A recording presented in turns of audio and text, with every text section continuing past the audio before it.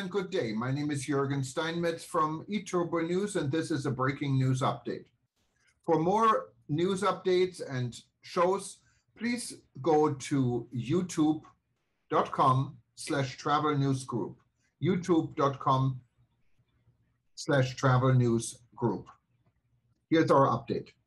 WHO would not approve Russian COVID-19 vaccine over production infringements. The WHO previously reported it had found multiple infringements and had concerns related to the implementation of adequate measures to mitigate the risks of cross-contamination at a Pharmstandard factory in the Russian city of Ufa. World Health Organization suspends emergency approval of Russian-made Sputnik V COVID-19 vaccine. WHO had found multiple manufacturing infringements at the production plant in Ufa, Russia.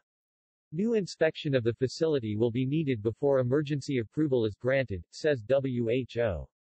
Assistant Director of the World Health Organization, WHO, Jarbas Barbosa announced that Russia's bid for emergency authorization of its Sputnik V COVID-19 vaccine had been suspended by the organization after a number of production violations were uncovered during a WHO inspection in Russia.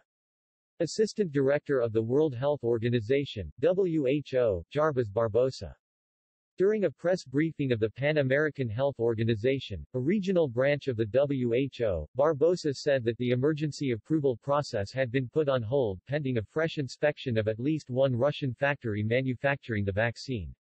The process for Sputnik V's emergency use listing EUL, was suspended because while inspecting one of the plants where the vaccine is being manufactured, they found the plant was not in agreement with best manufacturing practices, Barbosa said. The WHO previously reported it had found multiple infringements and had concerns related to the implementation of adequate measures to mitigate the risks of cross-contamination at a Pharmstandard factory in the Russian city of Ufa. Following the publication of the WHO's findings, the plant said it had already addressed their concerns and that the inspectors had not questioned the safety or efficacy of the vaccine. But, according to independent scientists and industry insiders, the manufacturing breaches could compromise the vaccine's quality. The World Health Organization said it was still awaiting an update from Pharmstandard and suggested new inspections of the facilities would be required before WHO would grant Sputnik V approval.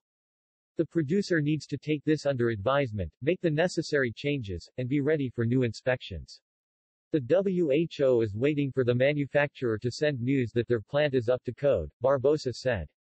Russia submitted its applications for approval by both the WHO and European Medicines Agency EMA, in February.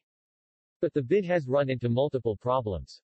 Both the European Medicines Agency EMA, and the WHO said last week they were still awaiting a complete set of data from the developers of Sputnik V. Gaining approval from either organization is extremely important for Russia, which has launched an aggressive vaccine diplomacy drive and sold millions of doses to dozens of countries. It would also pave the way for possible mutual recognition of vaccines, simplifying post-pandemic travel for Russians vaccinated with Sputnik V.